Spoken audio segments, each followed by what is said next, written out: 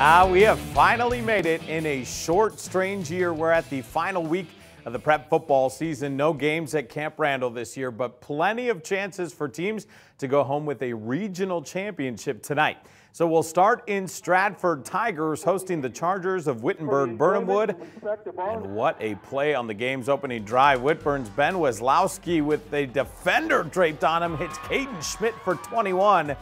That drive would stall, though. Stratford's first possession, Max Vanderhoof going for the home run, instead picked off. But the Tigers repay the favor. Gavin Kirsch rises up, big interception there, and Stratford would take advantage. Bo Gross caps off an impressive drive to give Stratford a 7-0 lead. Chargers don't waste any time evening things back up. Schmidt catches a short pass over the middle and makes some magic happen. Avoids a couple tackles right there.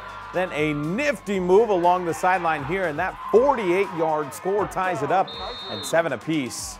Now more from this 3 to 21 connection. Check out this pitch and catch.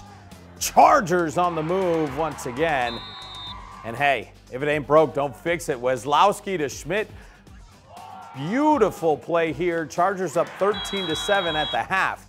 Third quarter now, Tigers on the move, and again, it's Bo Gross punches it in for the Stratford score. They hang on to win a thriller 28 to 27.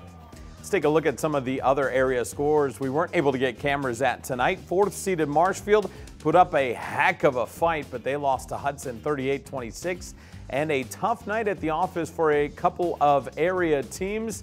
Assumption shut out by a very hot Blair Taylor team. Loyal also shut out to number one Pepin Alma. All right, we have to take a quick timeout, but